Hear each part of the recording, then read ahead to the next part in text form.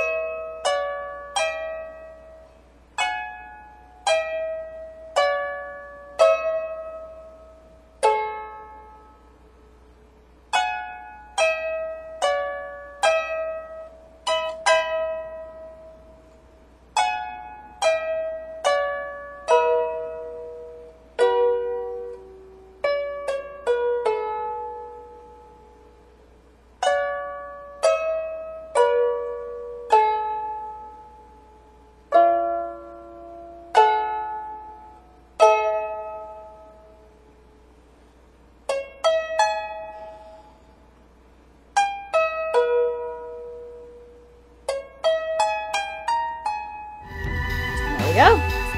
I played it again for a little bit because I just the songs always feel like they flow into each other and you can play them again pretty easily. But that was Flowers Blooming in the Church from Final Fantasy VII because this is only a 19 string pixie harp.